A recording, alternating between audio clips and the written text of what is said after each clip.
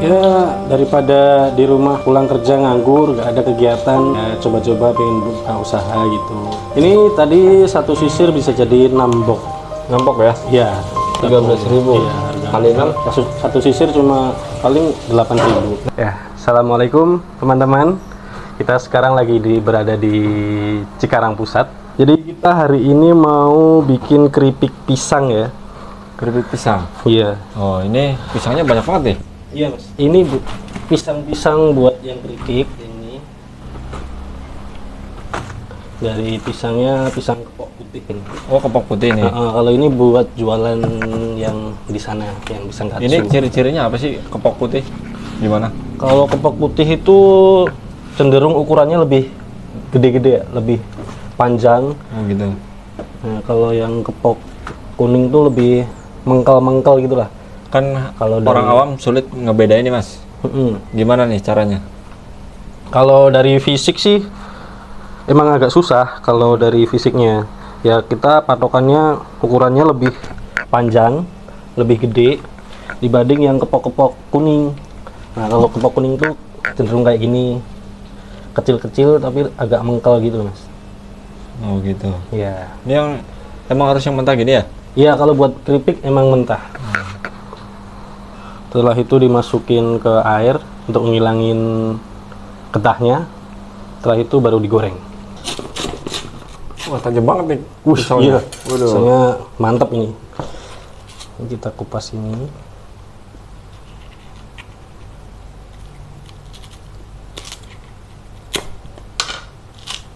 Oh, ya, Mas? Iya, kalau masih mentah memang keras.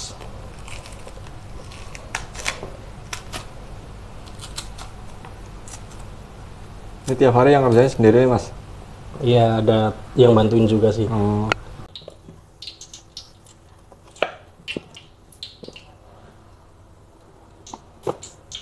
Ini cetakannya beli di mana nih, Mas?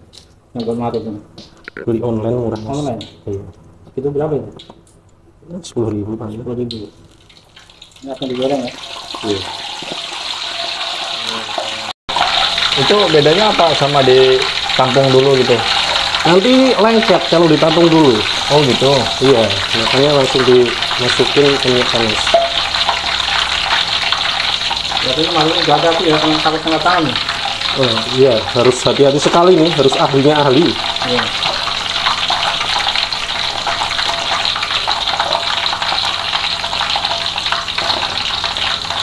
Biasanya berapa lama nih, Mas? Lumayan lama sih, sekitar kita sekitar 10 sampai 15 menit. Gorengnya ini ya. Iya. Berarti apinya harus gede ya?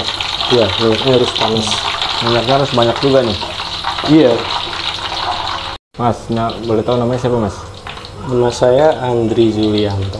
Mas Andre, ini usaha utama apa sampingan? Apa gimana? Sampingan ini mas, Oh, sampingan. Iya. Ah, utamanya apa nih, Mas?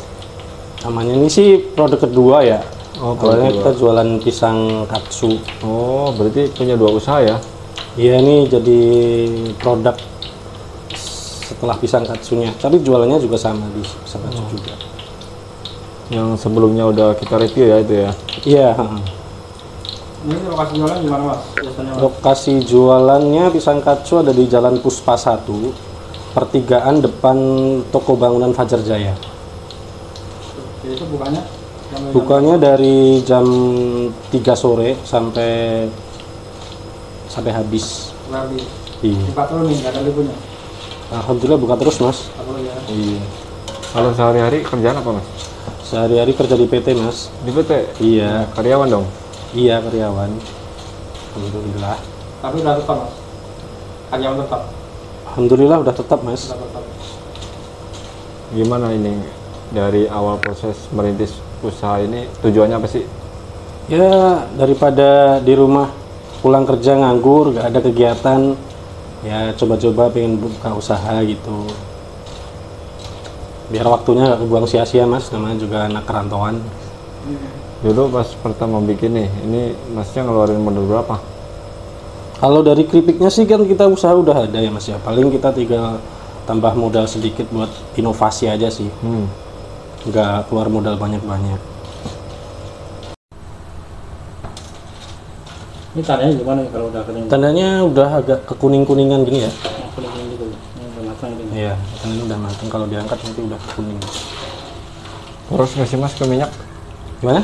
Ke minyak boros nggak? Ya ini lumayan boros ini, soalnya gorengnya agak lama. Ngabisin berapa liter tuh sekali? Ya rata-rata kalau kita produksi tiga sisir, tiga sisir itu kurang lebih habis setengah sampai satu liter minyaknya. Buat goreng aja. Ini yang udah matang. Ya itu. Tahanan berapa lama mas? kalau tertutup itu bisa sampai 2 sampai 3 minggu mas. Asalkan kedap udara ya. Dari keripiknya yang udah matang digoreng Sih tau. Mau yang ngomong. orang kusik Eh, tak tak timbangi sih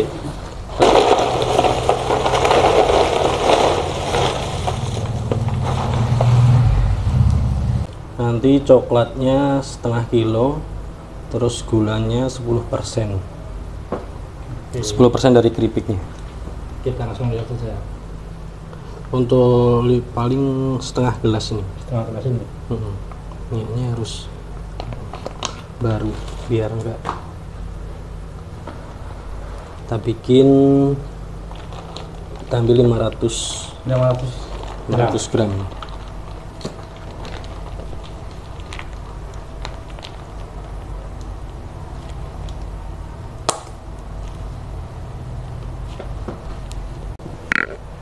apinya kecil aja gulanya pakai berapa? Gulanya pakai 50 50 gram.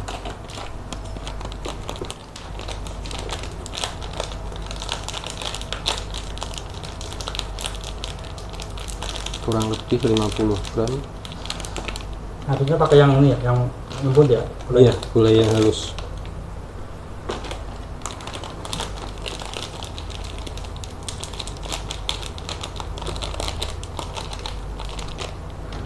Minyaknya. Iya. Itu nanti dikasihkan semua. enggak Enggak. kita ukur tingkat ke Ini fungsinya buat apa nih mas? Minyak? minyaknya untuk melumerkan coklatnya ya jadi kalau nggak dikasih minyak tuh ntarnya jadinya kalau kering agak keras coklatnya nggak juga jadi lumer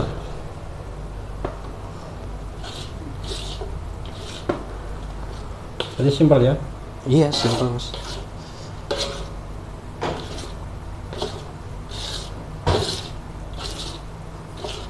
Masaknya berapa lama nih mas? ini kita tunggu sampai encer sampai menyatu sama gula sama coklatnya ini kan masih agak ber- ya. bergerum ya, gumpal tunggu sampai encer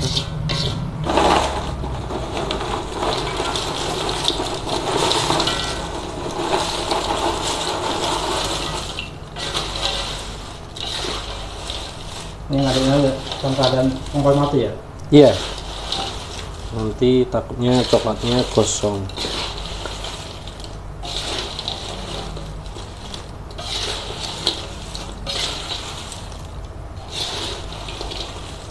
Ini kalau udah jadi kayak gitu tahannya berapa lama? Kalau dikasih di kulkas itu bisa tahan sampai dua bulan. Cuman kalau di udara ruangan bisa nyampe satu bulan kurang lebih ya. Gula. Kurang lebih satu bulan. Ini bahan tanpa pengawet ya. Iya. Alami ya. Alami tanpa pengawet.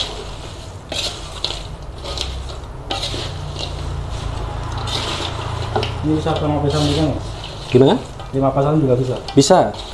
Nanti bisa order online juga bisa biasanya sih kalau udah pelanggan banyak yang WA nanti bisa hubungi nomor di bawah Kalau ininya jualan online ada nggak? Shopee Food, GrabFood kayak gitu. kita ada di Gojek sama GoFood namanya Sang Pisang Katsu ya Namanya tuh. Mas. iya Ini bisa disebutin kan nomor WA nya kalau teman-teman yang pesen.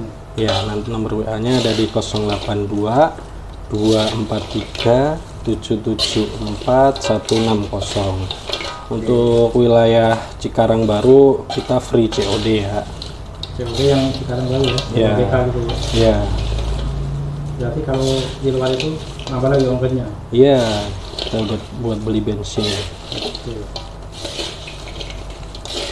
Ini usaha ini awal resepnya dari mana mas? kalau resepnya sih kita lihat-lihat di YouTube ya mas ya. Oh dari YouTube. iya jadi kita coba-coba sendiri. Modal kuota doang ya. iya modal kuota anti boncos Terus jadi ini biasanya bikin berapa kilo nih? Kalau hari ini tadi jadinya sekitar satu kilo nanti jadi totalnya. Tadi kan keripiknya 500, coklatnya 500, tambah gulanya 50, jadi sekitar sekilo lebih dikit lah.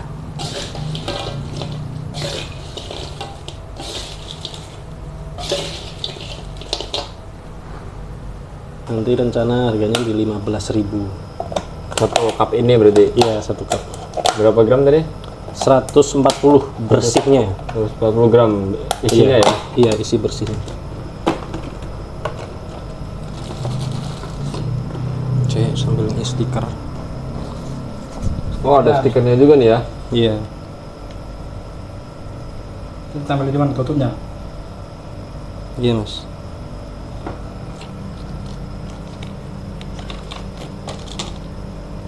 Oh di situ juga ada nomor WA nya ya Iya, di sini ada nomor WA-nya. Kita bisa hubungin di nomor ini. Hmm. Sambil nunggu. Pengiriman seluruh Indonesia nih. Pengiriman bisa, kita ada online juga di Shopee, ada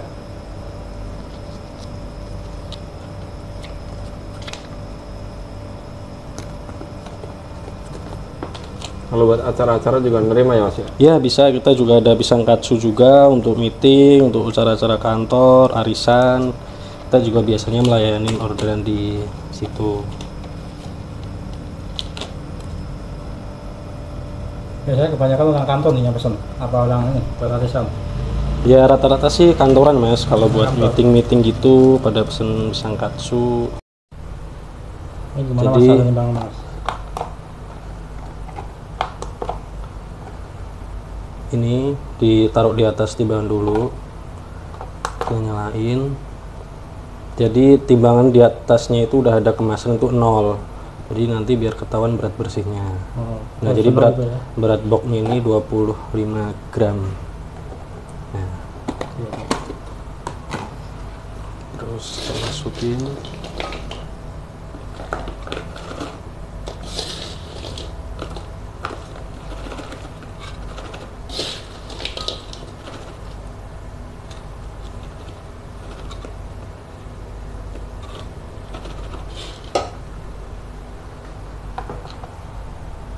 Nah, kira-kira segini lah 140 graman. takanannya ini ya mas Ya.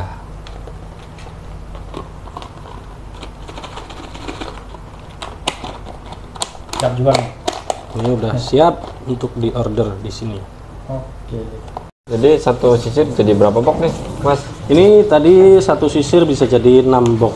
Nampok ya? Ya, Ini harganya berapa nih satu box satu boxnya 13.000 kita 13.000 promo. Iya, harga kali 6 kali 6 78.000 ya. Hmm, Iya, 78.000. Satu, satu sisir cuma paling 8.000. 8.000 Jadi sampai 10.000. Oh gitu. Luar biasa juga ya. Alhamdulillah. Menjanjikan nggak mas usaha sampingan ini? Ya yang pasti kalau dilihat dari ini pasti menjanjikan Mas. Cuman kan kita juga merintis ya, baru merintis pasti ada juga jerih payahnya lah gitu.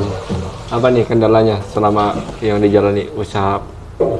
Ya selama ini alhamdulillah lancar-lancar aja. Cuman kita baru proses merintis ya. Jadi kita buka di online juga di lapak juga. Ya pertama ingin berusaha mas, ingin punya usaha kecilan gitu. Siapa tahu nanti bisa berkembang, buat tambahan penghasilan sambil kerja di PT. Gitu.